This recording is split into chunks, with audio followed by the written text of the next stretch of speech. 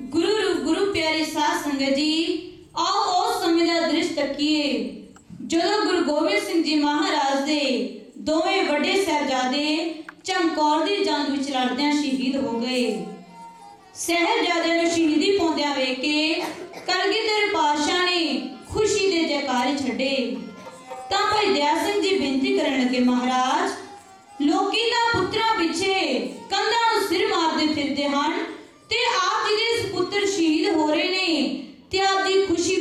ਵਿੱਚ ਛੱਡ ਰਹੇ ਹੋ। ਗੁਰੂ ਸਾਹਿਬ ਫਰਮਾਉਣ ਲੱਗੇ, ਹਾਂ ਭਾਈ ਦਇਆ ਸਿੰਘ ਜੀ, ਇਹ ਤਾਂ ਪੰਥ ਦਾ ਕਰਜ਼ਾ ਸੀ ਜੋ ਅਸਾਂ ਉਤਾਰ ਦਿੱਤਾ ਹੈ। ਇਹ ਸੁਣ ਕੇ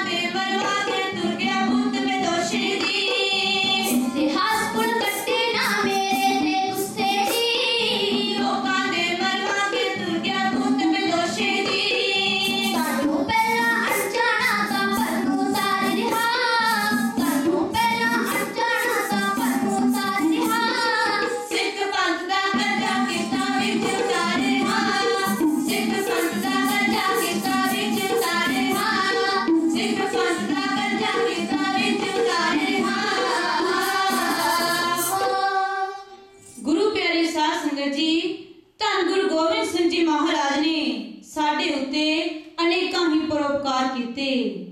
9 ਸਾਲ ਦੀ ਉਮਰ ਦੇ ਵਿੱਚ ਆਪਣੇ ਪਿਤਾ ਸ੍ਰੀ ਗੁਰੂ ਤੇਗ ਬਹਾਦਰ ਜੀ ਨੂੰ ਮਜਲੂਮਾਂ ਦੀ ਰਾਖੀ ਲਈ ਦਿੱਲੀ ਵੱਲ ਤੋਰ ਦਿੱਤਾ। ਗੁਰੂ ਸਾਹਿਬ ਦੇ ਦੋਵੇਂ ਵੱਡੇ ਸਹਿਬਜ਼ਾਦੇ ਚਮਕੌਰ ਦੀ ਜੰਗ ਵਿੱਚ ਲੜਦਿਆਂ ਸ਼ਹੀਦ ਹੋ ਗਏ ਤੇ ਛੋਟੇ ਸਹਿਬਜ਼ਾਦਿਆਂ ਨੂੰ ਸਮੇਂ ਦੀ ਹਕੂਮਤ ਨੇ ਨੀਹਾਂ ਵਿੱਚ ਚਿਣ ਕੇ ਸ਼ਹੀਦ ਕਰ ਦਿੱਤਾ। ਕਲਗੀ ਤੇ ਲੇਖਾ ਖਤਮ ਹੁੰਦਾ। ਜਦੋਂ ਕਰੀ ਦੀ ਖੋਜ ਲਾਸਾਨੀਆਂ ਦੀ ਜਿਸ ਆਪਣੀ ਬਸ ਕੁਰਬਾਨ ਕਰਕੇ ਡੁੱਬਦੀ ਹਿੰਦ ਰੱਖੀ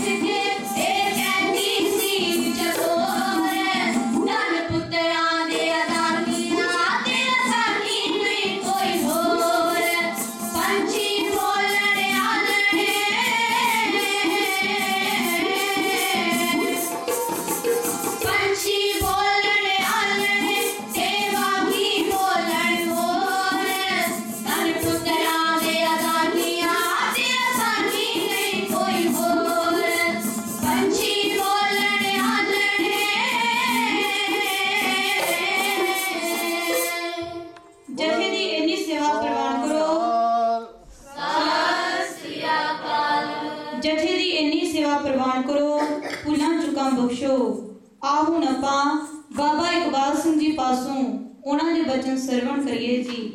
ਵਾਹਿਗੁਰੂ ਜੀ ਕਾ ਖਾਲਸਾ, ਵਾਹਿਗੁਰੂ